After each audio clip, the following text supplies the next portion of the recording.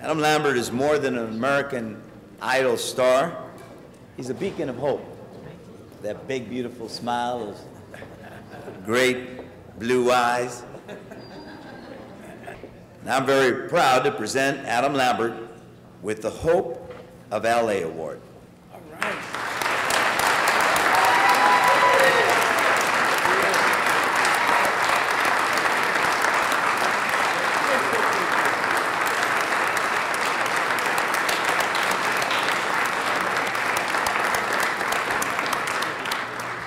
Thank you guys. Um, I was saying last night at the party outside um, that when I first auditioned for American Idol, I just wanted to sing. That's all I was going for. You know, I was like, I need a, a record deal.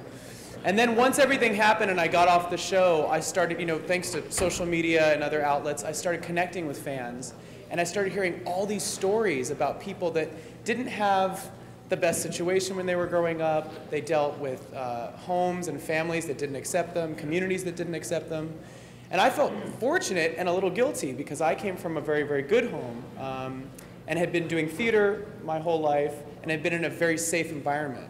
So what I realized was that I could use my celebrity, I could use my platform for good, and I could use it to help people feel safe and to feel included and to feel like they had a voice.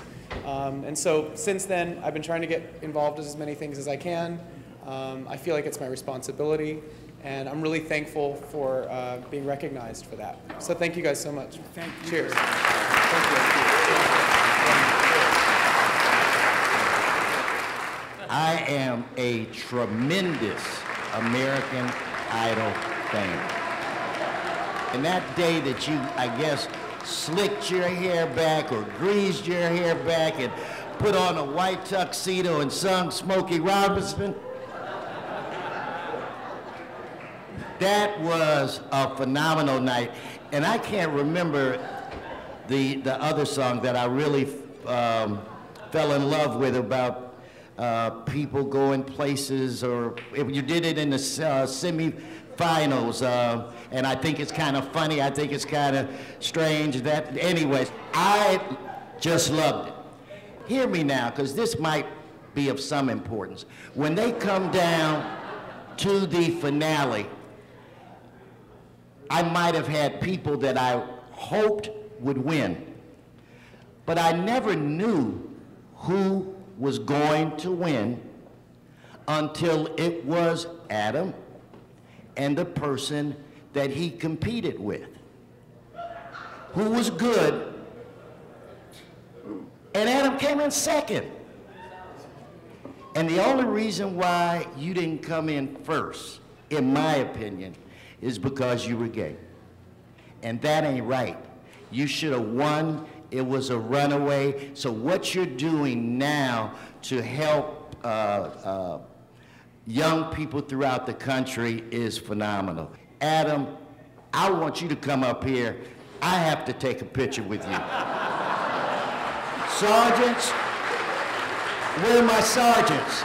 Sergeants, sergeant at arms, Adam is not allowed to leave until after you bring him here. And where's Betsy? Betsy, I want the best shot that you got.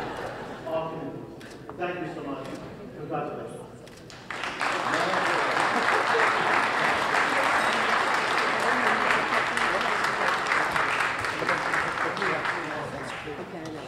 You see I'm getting my photograph. Adam was a great, great guy.